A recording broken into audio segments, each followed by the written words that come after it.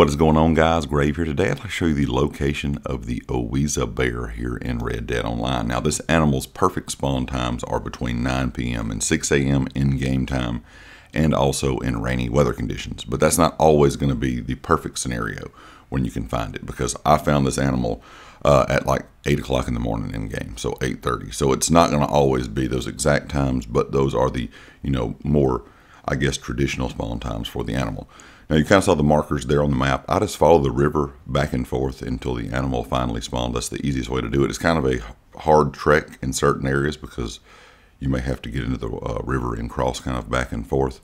But you will see where this animal spawns for me here in just a second, kind of up here on the uh, kind of the, the gap in between the rocks. And this is kind of a dangerous place, so if you get this exact area too, be aware. You will see here in just a second as I'm trying to get away from it as it's attacking me. I run straight into a rock. The horse throws me off, all that kind of great stuff. But uh, just be aware it is kind of a, a, rough hunt because it is a bear and it, of course will kill you like any of the other kind of uh, predator style legendary animals but like i said this is that location for that owiza uh, legendary bear. And the skin of course is pretty nice looking if you like to collect the skins and you know wear them in game uh, this one makes a pretty cool looking coat. But anyway leave me a comment with your thoughts. And of course if you liked the video hit the like. If you have not subscribed yet please do so.